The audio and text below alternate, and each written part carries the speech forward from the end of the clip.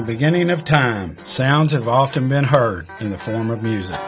The chants of tribes of every language and nation has brought us through time, each having its own era, from the first drum beats to the first music recording. Can you hear me? Can you hear me now? Played on the gramophone in the late 1800s and the early 1900s. Can Four, six, and 12 string guitars all coming together as one with lyrics from past, present, and future where his time has come. It all began Friday, July 10, 1953, when Kirk A. Rogers was born in New Mexico and ended Friday, February the 25th, 1983.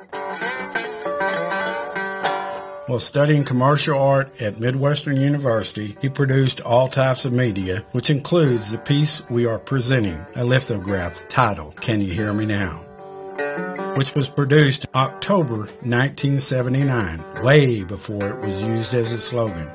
Feelings concerning this piece of work, plus all his other work tied together, especially a sculpture, Love Is, clearly indicates his love for music and world peace, just as John Lennon said, Can you imagine a world at peace? Or the beautiful song by the Vaughan brothers, Tick Tock, which is why we as a group have a quest. We've seen the importance of Kirk's vision to be part of the need for change and unity. We would feel fortunate and hopeful of the possibilities working with Hard Rock International to use the Can You Hear Me Now as a traveling piece of artwork as we travel and paint murals promoting a piece of peace across the globe.